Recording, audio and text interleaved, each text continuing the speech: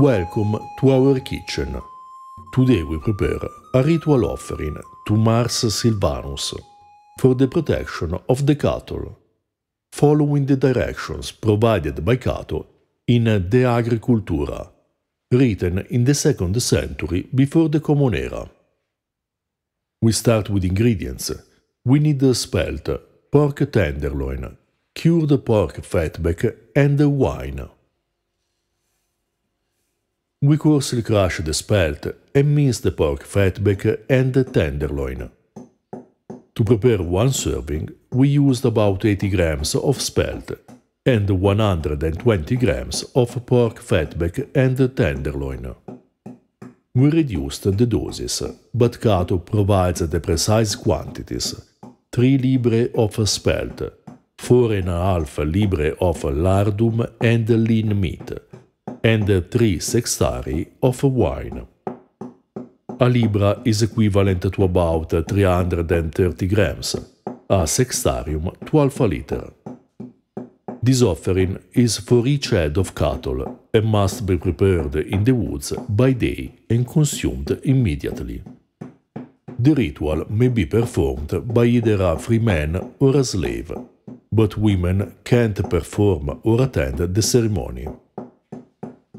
It is interesting to notice that this offering is for Mars Silvanus, who embodies some archaic aspects of Mars, who traditionally is not only the god of war, but is also related to nature, agriculture, and rebirth of spring. As Ovid recalls in the Fasti, Mars is connected to the first month of the year, Martius, and with his lover, Venus, celebrated in the month of Aprilis, represent the principles of generation and life. Mars is also considered the divine father of the Romans, since he sired Romulus and Remus with the Vestal Rhea Silvia. The Romans sacrificed to Mars the most important animals bred in the ville, which were pigs, oxen, and sheep. Silvanus is connected to Mars as an agricultural god, but is also depicted as an independent divinity of the woods and lands, protector of the cattle and boundaries. Sometimes Silvanus is associated with Faunus, Silenus, Pan and Aristeus, all gods of agriculture and nature. We boil the spelt and cure the pork fatback until it reaches a creamy consistency. Then we add the tenderloin and cook for a few minutes. We recommend that you taste it and add salt if you think it needs it. If you don't have cured pork fatback, you may substitute it with pork belly or pork jowl.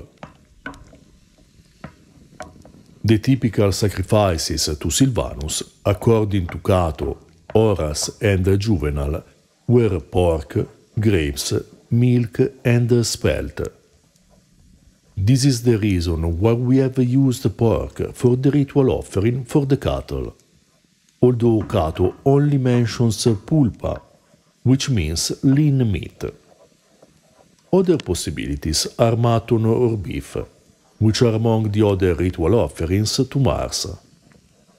For the preparation of our offering, we cooked all the ingredients together. It is a dish meant to be prepared and eaten in the woods, so it should not require too many tools. The preparation we chose is called puls in Latin and is made by overcooking and mashing cereals or legumes. Puls was often offered to the gods as we saw when we prepared the puls fabata in the past, and was the first food of the Italic populations according to Pliny. You find the link to the video of the puls fabata in the description below. Cato describes a puls in a couple of recipes, a bit different from this one.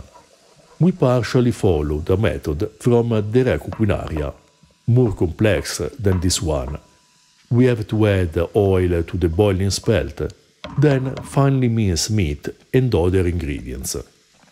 The use of pork fatback is typical of archaic and peasant preparations, whereas in high-end cuisine we find the more noble olive oil. This dish may be prepared in other ways, for example split roasting the meat and dressing the puls with melted pork fatback. In any case, remember that you must keep the quantities right if you want your cow to be healthy. If you want to know more about ancient food, check out our book, Ancient Roman Cooking, and our Patreon page, in which you find articles and translations, including the full translation of De Re Coquinaria.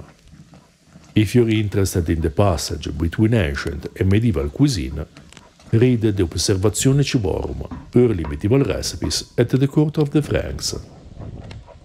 To learn about late medieval cuisine, we recommend Libro della Cucina, Medieval Tuscan Recipes, and Registrum Coquine, a Medieval Cookbook. For information on vegetables throughout history, read Early Italian Recipes, Vegetables, Fruit, Herbs and Flowers. To support our work, you can also buy us a beer and purchase our merchandise. You find all the links in the description below. We ate these puls with a cup of wine, which is part of the ritual offering as specified by Cato. It was simple and tasty, rich with the delicious flavor of pork fatback and meat, in contrast with the delicate sweetness of spelt. A perfect dish to revive the traditions of the archaic Roman culture and the typical foods of the ancient countryside. If you're interested in ancient foods and flavors, subscribe our channel and consider supporting us on Patreon.